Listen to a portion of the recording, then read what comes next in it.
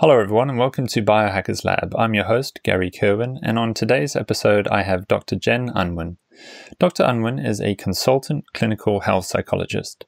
She has been working in the NHS for over 30 years to help people with chronic illness to live well with their conditions. Dr. Unwin works with her husband, Dr. David Unwin, to support patients in primary care to manage their diabetes by making lasting changes to their sugar consumption to improve their condition and reduce medication. Jen, thanks so much for coming on to the episode today. You're welcome. Thanks for asking. So I first want to just congratulate you and David. Uh, I got to watch the BBC program that you were featured in, and that was a fantastic uh, little documentary that made national TV here in the UK. Um, yeah. So yeah, I just want to say if anyone hasn't congratulated you, I thought I thought okay. you guys did a great job. Thank you. So many, so many people saw it, which was lovely. So just completely random people come up and say, "Oh, I saw you on the telly." I never thought I'd say in my life. So yeah, yeah, quite a journey. Yeah. So um, no, that was that was a great piece for um, low carb and the effects yeah. of carbs on us. And that's what we're going to be talking about today because I also got to listen to your talk at the Public Health Collaborations uh, London conference earlier this year. And mm. you did a, a, really good one about sugar and addiction. So that's what we're going to be talking about today is if people can figure out, am I addicted to sugar? Um, so mm. we're going to, we're going to give them the questions and, and the answers today. So um, to begin with then, I'd like to ask you is sugar addiction a real thing? Well, there's, there's kind of several different answers to that. So, um, personally, for me, yes, and I know a lot of other people who who would say the same. I mean, you were you were there at the presentation. We we asked the questions, and it was so fascinating that in a, a room full of people attending a conference about, you know, which was largely around uh, health and low carb. Um, it, it was striking, wasn't it? How many people stood up to how many of the questions, which were basically about substance addiction, but uh, we were asking people to reflect on their experiences of, of food and particularly foods that are high in carbohydrates, not not just sugar.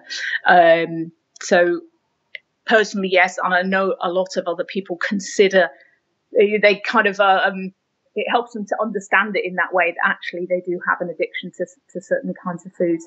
Now, there is some controversy in, in the literature. So that's also partly what I was talking about at the conference. Um, there are quite a few papers now that are, that are, and books that are written about sugar addiction and quite a, quite a bit of research. But there, um, for example, um, the the sort of statistical manual, which is for helping people to diagnose mental health conditions, which helps people to diagnose other addictions, um, like substance misuse, doesn't consider, uh, so it doesn't have a category for, for food addiction. Um, so that's not recognized in the kind of mental health world as a, as a real thing, if you like in inverted commas. Um, and also there are some, there have been some papers arguing that food addiction isn't a real thing. And I, I, I think you saw at the conference that, uh, um, I, I don't know, the more, the more time you spend in this whole world, the more slightly conspiracy theory you get, don't you, about big food and big pharma. So, um, I, I was, uh, as I said at the conference, channeling my Zoe Harcombe, I don't know if you've had Zoe Harcombe on Biohackers. But, I haven't uh, yet. No. Yeah, uh, I think I think people know that um, her PhD was all about smashing the myth about saturated fat and uh, and kind of avoid avoiding that for health, and that the evidence wasn't there for the guidelines coming in right at the beginning. Um, so I kind of drill back into the one the one paper which seemed to be um, most vociferously saying that sh- food addiction and sugar addiction, there wasn't enough evidence for it to be considered a thing.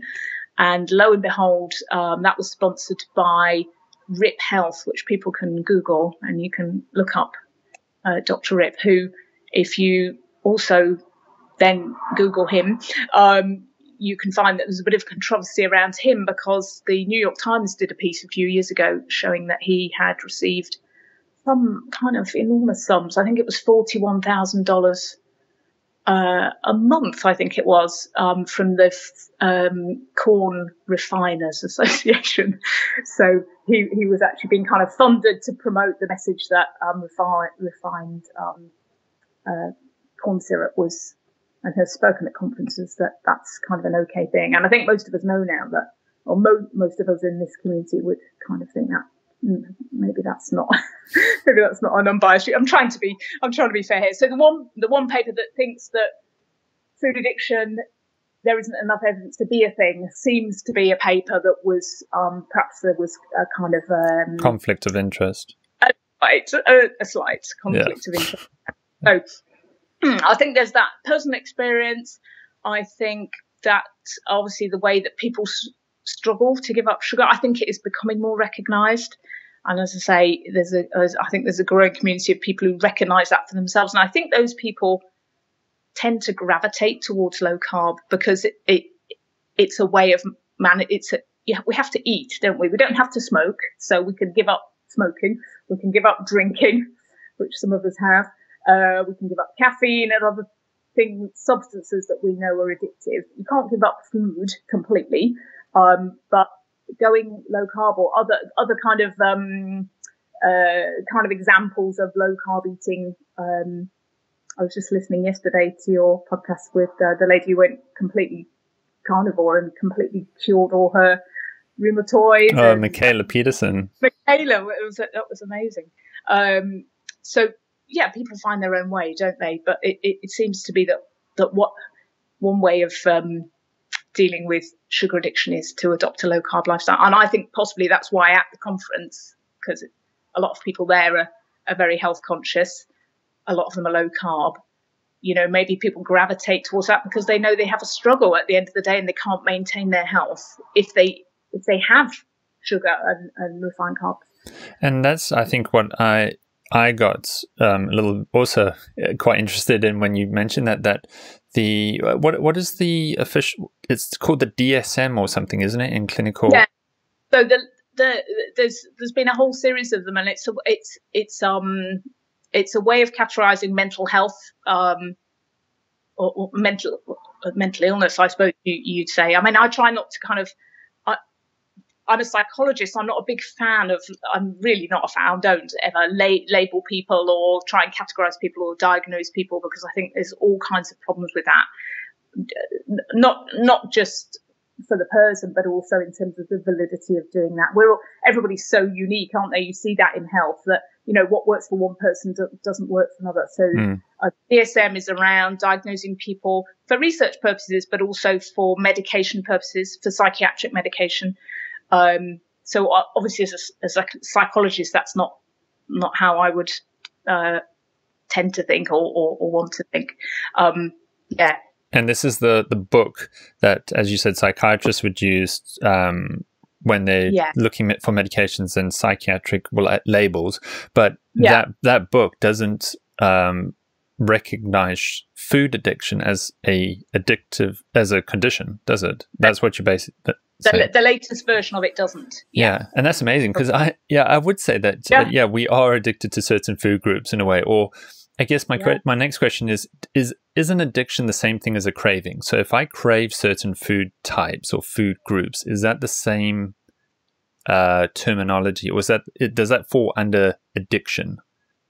I, uh, obviously, cra- cravings are one one of the many uh, things that might indicate an addiction, but you might have cravings, and that's that's the end of it, kind of thing. It it doesn't. Um, you, you you'd need a, a few a, a, few other a few other um, symptoms or or criteria to kind of say that it was a, a proper addiction, really. Okay, and I think yeah. that moves us into how to test. So this is what was really cool uh, that you did with your lecture.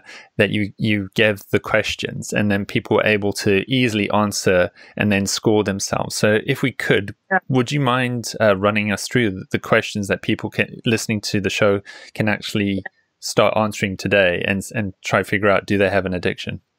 Yeah, of course. Yeah. So uh, there's a there's a series of questions that we went through, and we got people to stand up if they thought it applied to them. So what we're thinking about here is think think about sugars that um, are high, uh, foods that are high in sugar or starchy carbs, and may or may not be confi- uh, combined with high fats as well. So the foods that that um, tend to be most addictive are those things like donuts or Doritos or things where there's a combination of, of kind of carbs, but it, it, the carb is the kind of essential thing.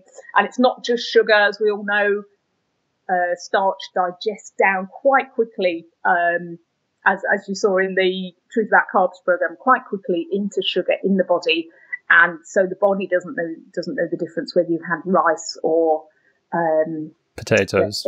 Yeah, potatoes or cake or, you know, just a whole like you know four teaspoons of sugar to the body it's all it, it, you know it's all the same really so the first one would be taking the substance so in this case we're, we're talking about those kinds of foods in larger amounts or for longer than intended and um, I think at the conference we will kind of give we asked people to give some examples, don't they? Didn't we? Those people that, that stood up. So it, it's where you kind of say to yourself, "Well, I'll um, I'll, I'll just have one slice of cake.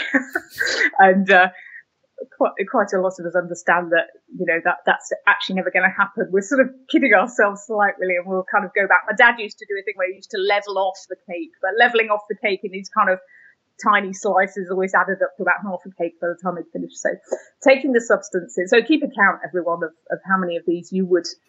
So that's question number one. Question number one. And the other thing is that at the conference, obviously, a lot of people were low carb, so this perhaps didn't apply to them anymore, or they, they'd given up these kinds of foods. So we're asking people to reflect on when they weren't. So that may be true for some of your audience as well. This may be kind of historic thing that they've struggled with. Okay, so the, the second one is wanting to cut down uh, or quit, um, but not being able to. So exactly like smoking, knowing it's bad for you, kind of thinking, oh gosh, you know, this this is this is getting a bit out of hand. Thinking that logically, um, but actually, almost. Uh, uh I mean, I, I, was saying at the conference as well, because of course this has been interesting for me. Actually, almost seeing your hand reach for the biscuit barrel and thinking, what? Your conscious part of your brain, the, the sort of logical frontal bit is thinking, why? Why am I doing that? But it's, it's kind of almost dry. There's almost like a sort of, it's almost like being taken over in a weird way, isn't it? When you can't you can't resist that urge. So wanting to cut down or quit, but but not being able to is number 2 mm-hmm. And the, and for anyone listening, these are all sort of like yes no questions. Yeah, yeah. yeah. I think if people have, have, have struggled with that, I mean, I suppose you, I suppose some people are struggling more with that, aren't they? But I, I, I think you know if it's an issue for mm. yourself. So, um, so the next one is spending a lot of time obtaining the substance and what was interesting because obviously you can see how that would apply to drug addiction, where people might have to go out of their way to try and find a source of the the drug like, that they're craving. Walk, walk, the streets or travel a long walk way just to get it. I find a guy in a you know who happens to supply whatever it is. So I wasn't sure this was going to apply to a lot of people, but what what was so interesting this conference is a lot of people did stand up and told some really personal stories, which I'm grateful that people shared. And there was one lady, wasn't there, who said you know, she'd come off a nursing shift in the middle of the night. And if someone had mentioned chips, you know, she'd just have this idea that she had to have chips and she'd be driving around the Midlands for an extra hour after the end of a night shift to try and find chips. And it makes no sense, does it? Logically, you could go home and, you know, go to bed or have something else. But no, she, she was sort of, and, uh, uh, and other people talked about that as well, you know, like, um, kind of try to find their favorite whatever their particular thing was. So spending a lot of time uh, obtaining substance. Yeah. So that, yeah, and and another example is it the one where say you you're thinking of a chocolate bar and suddenly you go I've just got to get it and you jump in the car and you drive to a, a garage or you know yeah. petrol station just, and you think I've had to drive all that way just to go pick yeah. up a chocolate bar. It's madness, isn't it? Yeah. Caramel Caramac was one of my weaknesses. I used to love that stuff. and uh, yeah, you don't get it everywhere, so you'd have to make a special effort. Yeah, so that that that yeah, that does apply to people, I think. Okay. Okay, so what are we on? Uh, number four, I think. Um, a craving, which is what you mentioned, or a strong desire for the substance. Yeah, so those two things are a bit linked, aren't they? So as you say, you suddenly you suddenly get this craving. It's almost like it's an irresistible urge, and you can't really focus on other things. You have to go and get that get that get that thing that you want. Get that fix. Get the fix. Yeah, absolutely, absolutely. And that's uh, you'll see that comes up as another one of the questions. Um, right, this next one is another one I I didn't think might apply to many people, but a few people did stand up. So, uh, unable to carry out obligations at work, school, or home as you as you might desire. Though some people talked about, didn't they, being kind of too tired to do stuff or, you know, not, not functioning well because they'd actually overeaten to such an extent they were just kind of lying around. You know, some some people struggle with this to such an extent that they actually do almost make they make themselves ill, don't they? And they're sort of um, lying around, you know, feeling pretty pretty bad. So, um, and that would would would such with that question too. Would it also be that if you become so fixated on trying to get the substance that you're actually not able to do your job properly because you're more mm. concentrated on figuring out how you're going to get this food source versus actually being able to focus on your work. And, and when's when's lunch or you know you, you, you're craving stuff. Yeah. So there's um the there's there's some evidence that, that that's the case that you're almost your you, your cognitive focus becomes very focused on the substance. So that's the same in drugs and alcohol. Obviously, that people are thinking about how they're going to get it yeah. and focusing on that. Uh, and also, there's there's some evidence, isn't there, around sugar. I know David was telling me about this sugar, um, insulin, triglyceride, high levels of triglycerides passing into the brain, so that you you know you just don't function as well. Really, you just just focused on the next the next mix. Yeah. Mm-hmm. So that's the next one. Um, Question okay. number six. Question number six is continued use despite persistent social or interpersonal problems linked to the substance. And again, I wasn't sure how many people would kind of identify that, but people were saying, you know, that obviously, and I know, um, you know, in a in a kind of minor way, when I used to get in and out of these cycles of, you know, giving giving up sugary things and then kind of kind of relapsing, if you like um, it's upsetting for, for partners to see you see you do that and put on weight and lose weight and put on weight and lose weight. And it, it is a little bit self harming really. And and you know it yourself.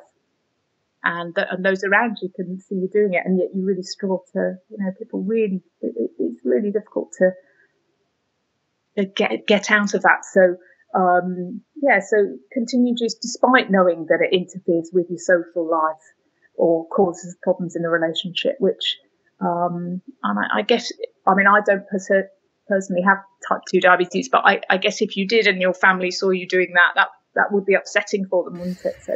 And would it even? I'm just thinking of a of, of another example where you could have a partner who gets upset, thinking, "Why did you go uh, waste money on chocolate bars again. Like we've had this discussion that you, you're buying too many, I feel, or, you know, um, you're buying you're you're wasting money because it's so expensive to buy it this way versus that way. And you know and you're but yet you've gone and done it again. Would that be another example? Mm-hmm. i guess i guess it's hard for people to understand isn't it? Who who who aren't addicted to any substance. The how the addicted person kind of struggles and it, and is driven. And and and just it, it's going to upset family members and, and yet in a way doesn't help. It doesn't help you you stop doing it really. So hmm. yeah, yeah, I can see how that, that and people did people did identify with that, didn't they? And I, as I say, even in a minor way, I can I can see that that that was a, a thing that happened to us. But yeah. as you said, I think particularly with the diet, once you have a condition like diabetes and your loved ones mm. know about it, and they've been, and they may have gone with you to the doctor and they said, you know, don't eat the biscuits or blah blah blah, and then you go home and then they ask for a biscuit with a cup of tea, and you're like, but I don't want to give you the biscuit. And why are you asking for me? We both know it's not good. And the doctor said, don't do it or whatever. And so that's another example of like, why are you doing it? You're upsetting me. Yeah, exactly. Yeah. exactly. Or people are having to kind of become secret, you know, secret eating is, is another kind of feature really is, is where, where people know that and they know it's illogical. So they kind of do it. They, they, they sneak off to do it. yeah. Eat it in the car on the way back from the garage. And, yeah, yeah. Know, thing, and you you know there's wrappers everywhere, and any anyone listening who's who's struggled with this will will know will know this, you know these, and it, it, it's you know it is very difficult. Mm-hmm. Yeah. So question number seven. In the next one um, is a little bit related, really. So, stopping or reducing important social, occupational, or recreational activities due to substance use. So, you know, perhaps missing out on um, going to events or um, you know, going out eating with work colleagues or I don't know what I don't know what it might be, but kind of avoiding those situations really. So um, uh, it's a bit related to those other previous ones, isn't it? Where you, you, you that it's that issue of um, because of how sugar works on the brain, it in the reward centers, you're tending to just focus on on getting that that reward, and it crowds out all the other things that might be rewarding in life. And that that I think that's one of the things that we can talk about later, which is about how you know how to, it's, a, it's a lifelong like any addiction. Then it becomes how do you get over it, and and that that's a kind of lifelong issue really if you, if you if you have this problem. Um, and that's one thing to consider is is how you how you how you get a buzz in other ways, how you how you get happy substance uh, in other parts of your life. Yeah, and I'm thinking even another example there would be if someone is really late for a social events because they had to swing past a drive-through takeaway place to get a fix of some sort and you're kind of like couldn't you wait you know you had to get your fix before the social event or you know we're always late for for friends meetups and that just because you've got to go through the drive-through or something like that. Mm-hmm. Yeah, yeah, yeah, yeah, exactly. Uh, are there are there any other questions after seven? How many are there again? Uh, yeah, so this again, this one doesn't apply so much, but uh, use of the substance in hazardous situations. Mm-hmm. So uh, you can see how that would apply to kind of um, drugs of misuse, can't you, and, and alcohol perhaps less likely, but people were fessing up to unwrapping that chocolate bar as they were driving along. And that must be just as dangerous as using a mobile phone yeah. driving. So eating as you're driving in the car, um, you know, etc. So there were again kind of illogical stuff that probably your grown-up brain would know wasn't a right thing to do, but you kind of feel driven to do. Yeah, I can. Uh, I mean, I I can relate to that. Sometimes where you have you've again, I'll use the garage just because uh, driving hmm. is so common with everyone, and they pick um, convenience food, yeah. and so you yeah, you've just bought the bag, you put it on the on the passenger seat, but you somehow decide, no, I need to get going. I start driving, but I'm going to try figure out how to look to the, you know, look to the side, pick it up with one hand, unwrap it somehow whilst driving, yeah. and it's like, yeah, that's not very good. It's not good, is it? No. no. And, uh, I mean, a lot of people are guilty of that, probably even if they aren't, you know, full blown sugar addicts. I would say, yeah. Yeah yeah, yeah. So the next one is consistent use of the substance despite acknowledging with your logical brain the persistent physical and psychological difficulties arising from use. So you, so it's knowing logically that you're upsetting people, you're making yourself more depressed. You, if you've got diabetes, you're worsening it. If you, know, if you haven't, well, it's, you know, it's still not great. And perhaps, I mean, for me personally, the, the main issue for me was around um, weight management. You know, I, I didn't like to be, be overweight. I was always trying to maintain my weight at a good, healthy weight and just struggled with that for years.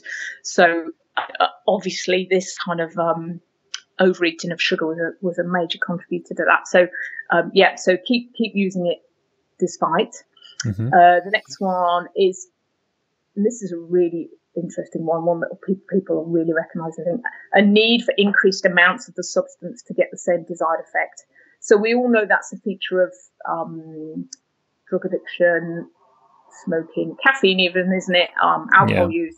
That what tends to happen over time is that we drift into having more and more cups of coffee to keep awake, or um, glasses of red wine to calm down after work, and that there is that kind of drift which you know most of us have to manage with any with anything but there seems to be this proportion of people who struggle with maybe it's the alcohol, maybe it's some other substance, and and and, and obviously those of us who struggle with sugar. Yeah, I can imagine um, it, this and more.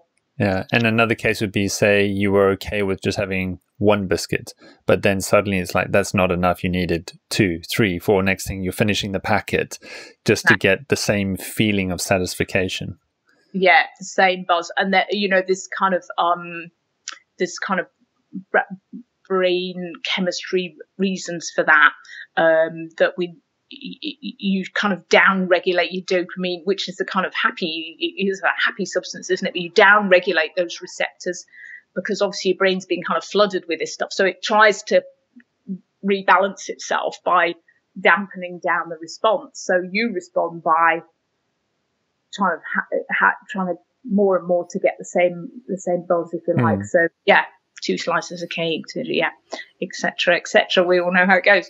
Um, the, Question the, number eleven is cravings and other physical symptoms of withdrawal if the substance isn't available, and this is something that obviously people experience, isn't it, when they go low carb or or, or keto? That you know they do get a lot of uh, cravings in the beginning, and some people when they try and give up sugar, that that you know the, the cravings are you know they'll tell you won't they how how powerful those are.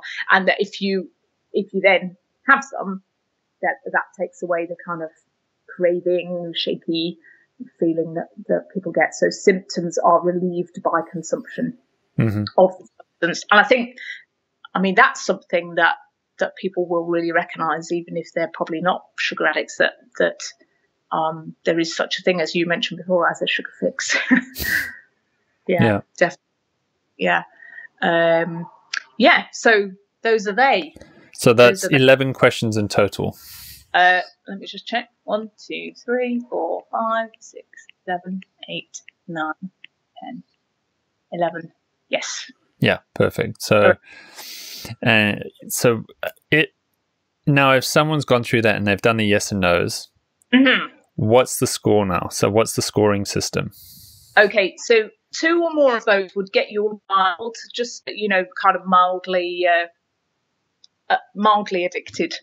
But obviously, anything more than that is going to be maybe this is a slight issue for you. And if you if you were if you were ticking off, which in back in the day I would have ticked off quite a few of those myself, and you know would would have shown me that I I did have a bit of an issue with that.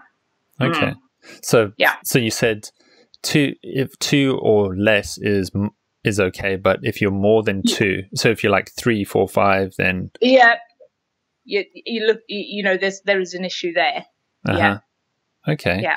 Yeah. So uh, I'm sure a lot of people going, "Oh my." uh, yeah. Yeah. So you know, this, uh, I'm trying to think. His, I'll have to ask David who it was who who, who wrote one of the chapters in Diabetes Unpacked, which is Zoe Williams, uh, Zoe Harcombe's book on diabetes who basically says, well, you know, so many of us, uh, uh, we're all, well, he sort of says we're all, we're all sugar addicts this, in this day and age because we eat so, so many carbs and, and sugars just naturally in that, in the, in this sort of typical diet. People haven't realized how, how much of that is sugar based because they don't understand that starch is sugar, fruit is sugar.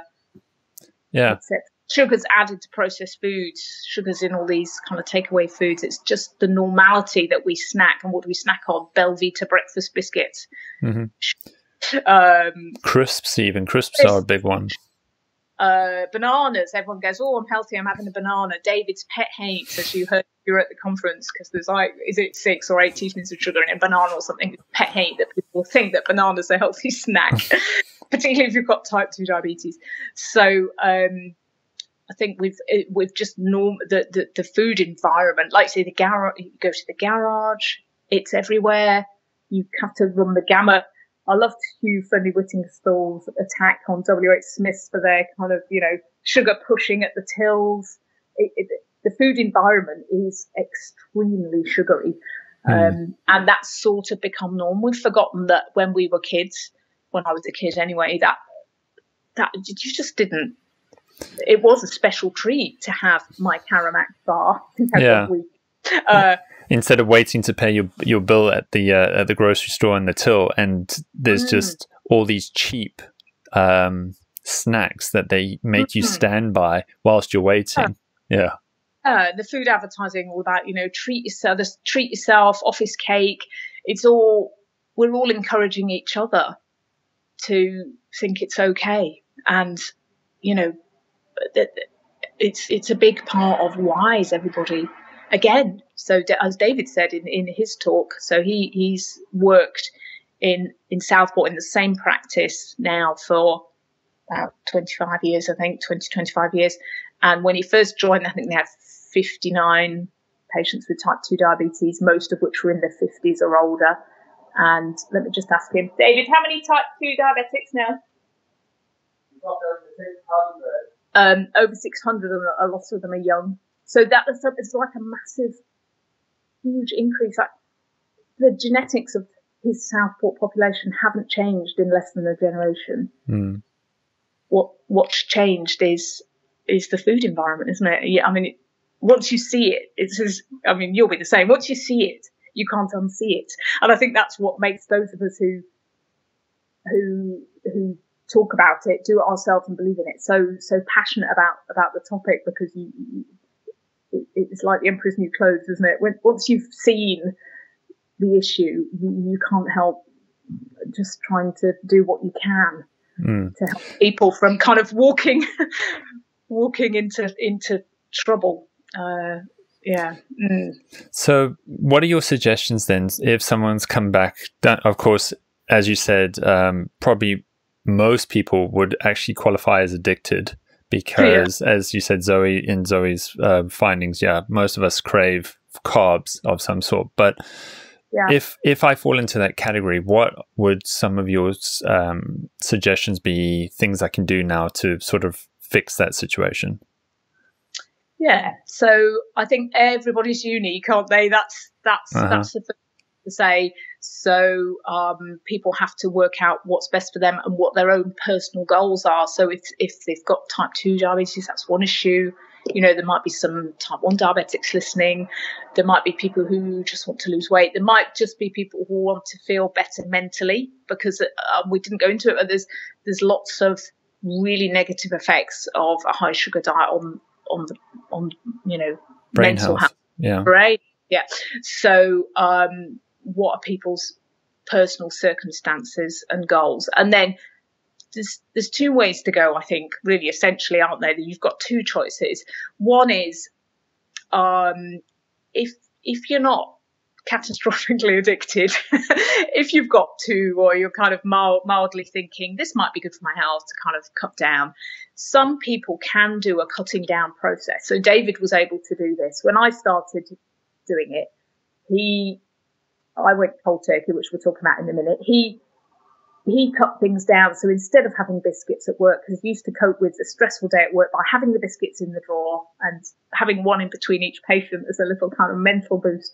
And then he went on to Nairn's oat biscuits, I think. So he kind of, and then he went on to almonds. And now he doesn't smack at work at all. He doesn't, he doesn't feel the need to at all. So he he did a sort of process wide thing. And if people are doing that, they should, they can start with the, the kind of pure pure sugar. So if you're adding sugar to tea, or you know, start with the start with the white stuff and, and cut that out, and then try and cut out the things with sugar in, like the biscuits or cake. People might want to make substitutions, um, and then depending on how they're coping with that, feeling with that, what their health goals are, what whether it's around weight or blood sugars or whatever it is, or just feeling more lively.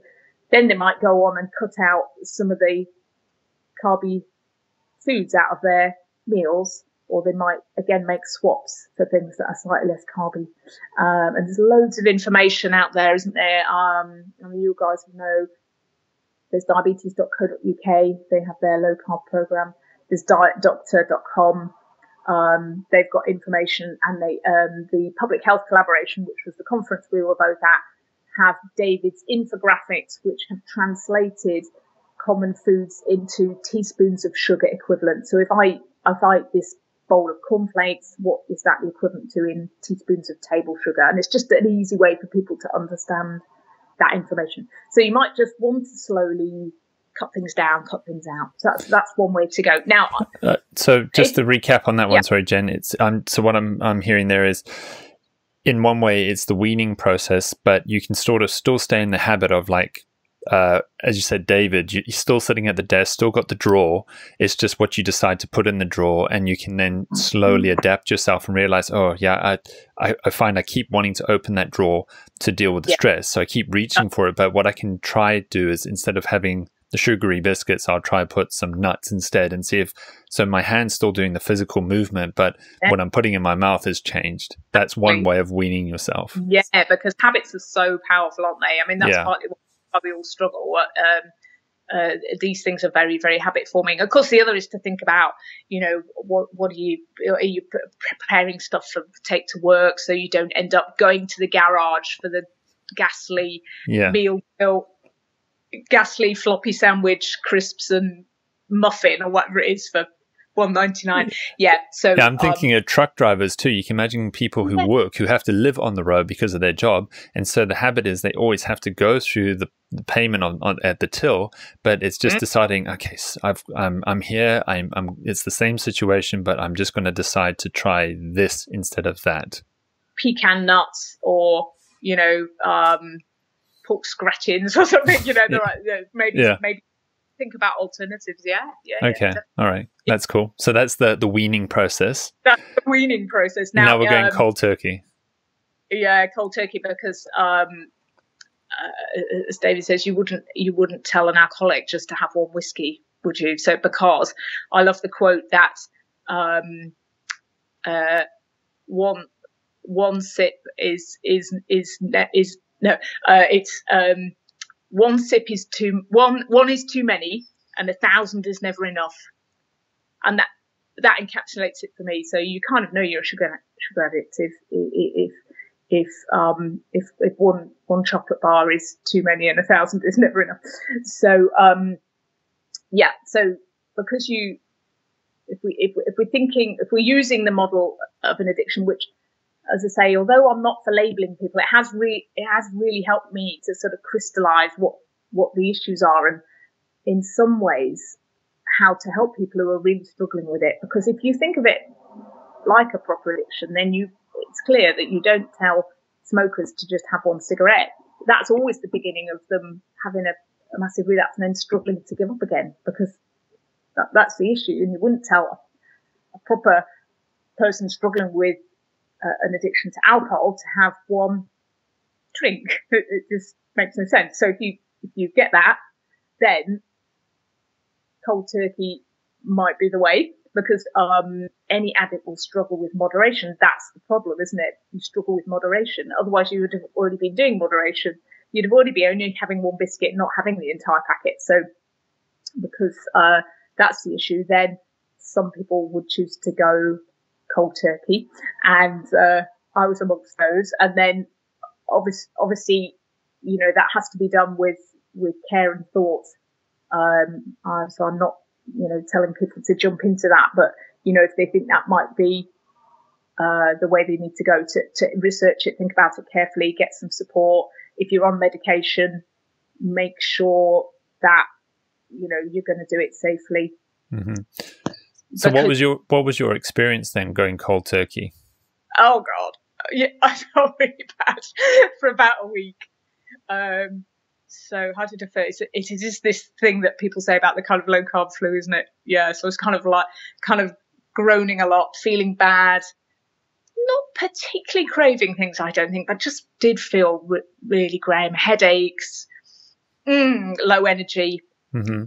I don't, I don't know if you've ever done this yourself, Gary. And then after about, and people often describe this, don't they? After about seven or eight days, you, you kind of wake up it's like you've got through that phase of it and you wake up and you feel incredibly awake, alive, uh, energetic, um, kind of fabulous, really. So yeah, but it, it's getting through that. And there are ways that, um, I mean, if people look online, there's, there's, there's, there's things to help, aren't there? Like things I know now that might have helped me then. So, um, sugar obviously raises insulin, doesn't it? This is David's explained all this to me.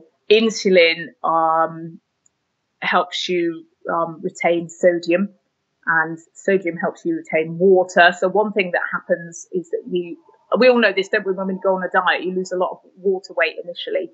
Um, and the headaches are often to do with losing the water and the, and the, sodium initially. So I think if I'd known some of that at the time, I would have been having more salts and, you know, fluids and that probably would have helped a little bit with the headaches.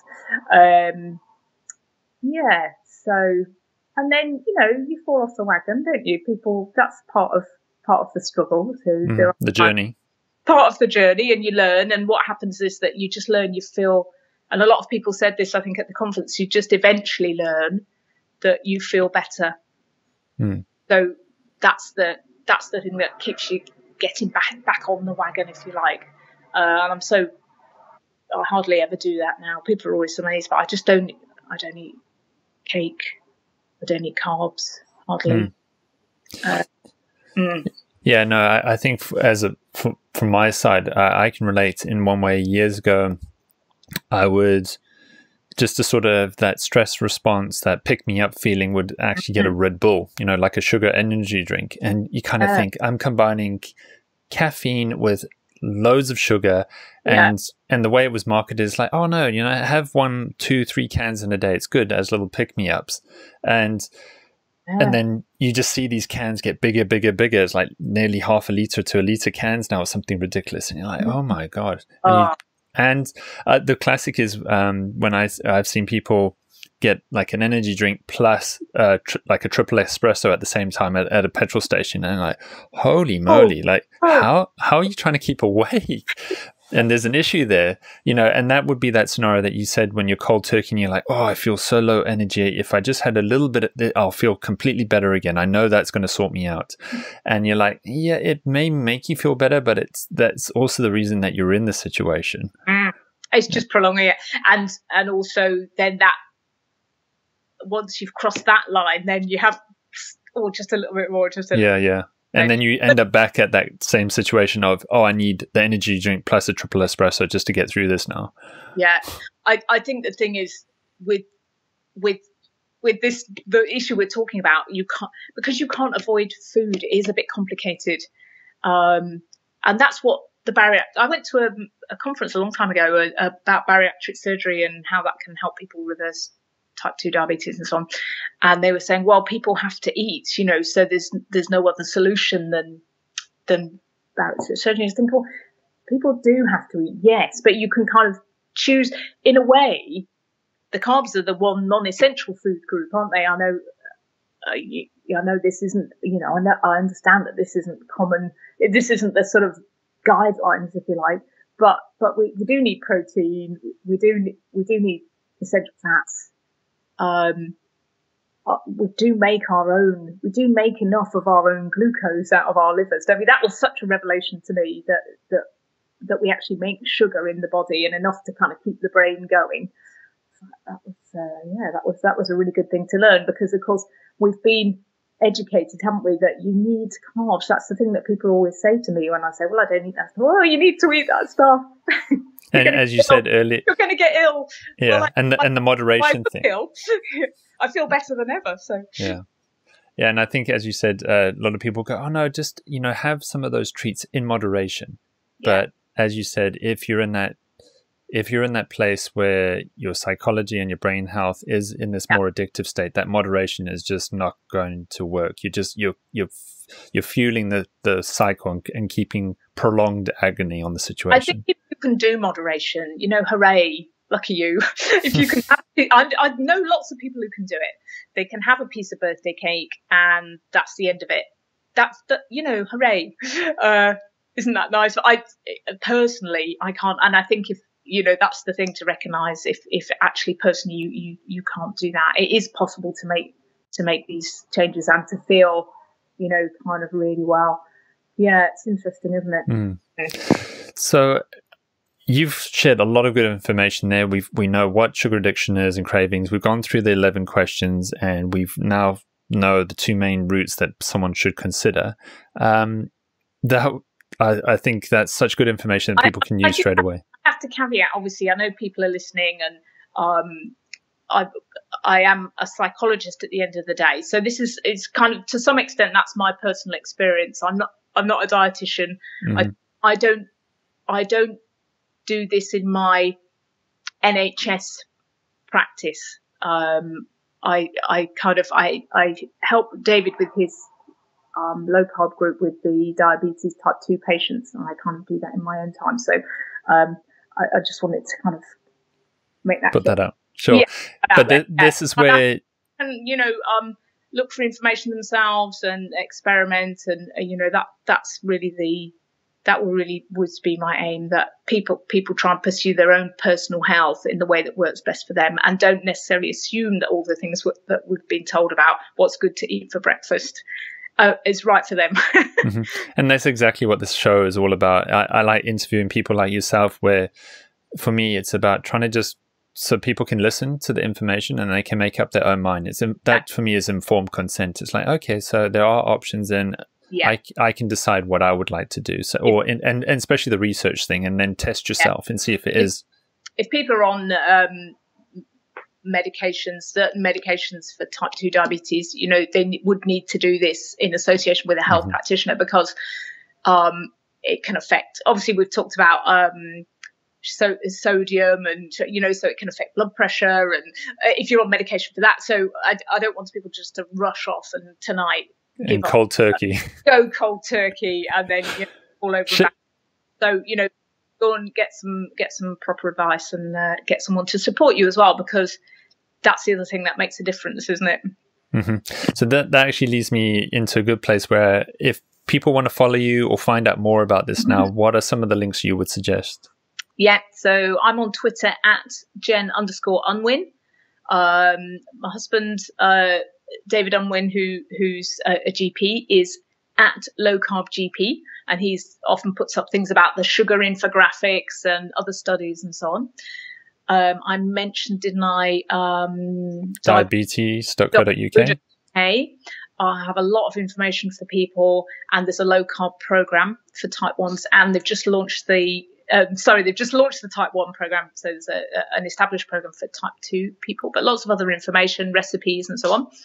And then there's uh, dietdoctor.com that probably people know about loads of recipes, loads of examples of people who've given up. And there's, um, they've got some articles themselves and some videos about sugar addiction that bit, bit, Bitten, I think her name is their, their sugar addiction specialist has put up. So if people want to watch some more videos about sugar addiction, um, they can look at those on dietdoctor.com. Um, yeah. So those would be the main easy online go-to sources, and I'll link to all of those in the show notes. Yeah. Fantastic. Well, Jen, I just want to say thank you so much for sharing your information today and your time. Um, it was really informative, and I hope anyone listening to this now understands: are they addicted to sugar or not? Thank you.